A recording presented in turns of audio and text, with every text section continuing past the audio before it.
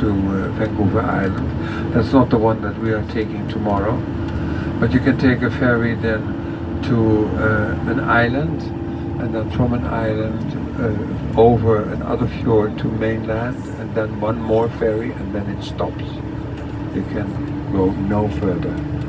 The only thing you can do then is cross over again to Vancouver Island. Um, so that's called, that area that is accessible is called the Sunshine Coast. Even when it's raining. so then all the way to Alaska, there are basically only two spots where uh, a, ro a road is coming through the mountains. Yeah, the one that I mentioned is the alternative Trans-Canada Highway that reaches Port Rupert, Prince Rupert, I mean, by uh, the Panhandle. And then the road that goes to the point where Alexander Mackenzie reached the ocean for the first time, by Bella Coola.